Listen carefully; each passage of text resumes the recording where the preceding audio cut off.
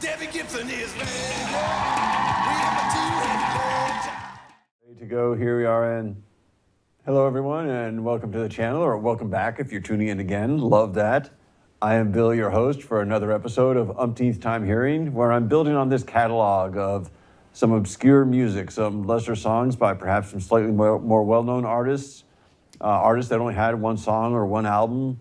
Uh, just generally trying to find a whole bunch of lesser known pieces of music that even if you are familiar with this week's program or many of the artists that I've covered, some more, many, there's bound to be at least a few in there that you haven't heard before. I'm covering a whole bunch of genres. It's generally out of the 1980s, a few years one side or the other sometimes. And the whole idea here is that this was based on the concept of having come across uh, first time hearing reaction videos and knowing that a lot of these songs, if I put them in requests, would get buried under much more popular songs that would have multiple requests, and decided to just flip that dynamic around and see if my umpteenth time hearing might very well be your first time hearing. Now, over the last three weeks, I've been doing a series of songs with some more lighthearted lyrics and segueing during that time from folk music to sort of a bubblegum pop of uh, last week's artist, Julie Brown. And this week I'm shifting gears again, going uh, sticking with a fun lyric theme, but going into psychobilly. Uh, this is a style of music that combines traditional rockabilly with a punk rock attitude. Uh, first pioneered really by the Cramps uh, out of the 1970s New York City music scene. But the artists that we'll be listening to today are Mojo Nixon and Skid Roper, who collaborated on a series of albums in the mid late 80s, culminating with a greatest hits album in 1990 before they parted ways. And these are folks who were unafraid to take pot shots at the celebrities of the day. Uh, right on their second release, 1986's EP, Get Out of My Way, came the song Stuffin' Martha's Muffin. Now, I mentioned at the end of last week's program that there would be, this week, be a couple of tie ins to not just la- one to last week and one to the week before. Last week's artist, Julie Brown, was also the name of a very popular MTV video jockey of the era. And being a video jockey on MTV early on back in the day, that was a thing. And one of the other video jockeys of that era was Martha Quinn. So you can probably guess who the song Stuffing Martha's Muffin is about. And despite that pot shot, uh, Mojo Nixon served as an occasional spokesperson for MTV off and on throughout the mid late 80s until the release of 1989's al- uh, their album Root Hog or Die with the song that we'll be hearing today Debbie Gibson is Pregnant with My Two Headed Love Child. Uh, for those who don't know, Debbie Gibson was a teen pop star of the era. Uh, and because of that and the other uh, figures that they take, he takes pot shots in the song, MTV refused to play it, and Mojo Nixon then ended his relationship with MTV. And just for no other reason, even though I'm a big fan of Burn Down the Malls, I decided to go with this song. And I also mentioned that there would be two tie-ins. A couple weeks back, uh, Nick Lowe, during the song uh, All Men Are Liars, made reference and took a shot at Rick Astley, and Mojo Nixon does the same thing in this song, as you'll be hearing.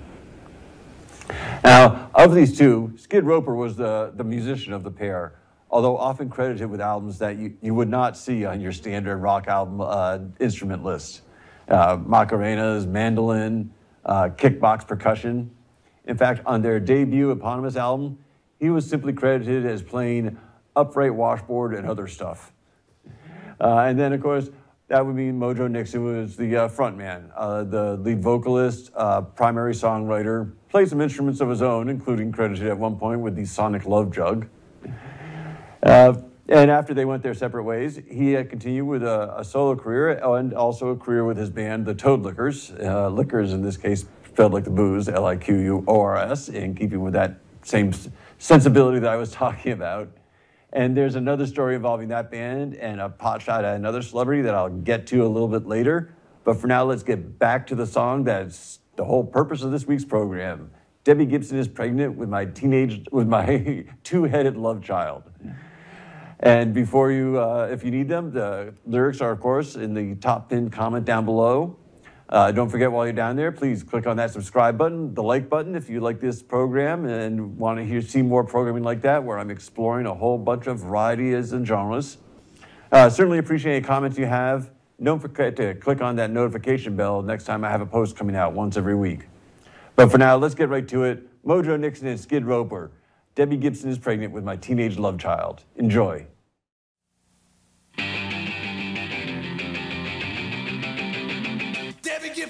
Gibson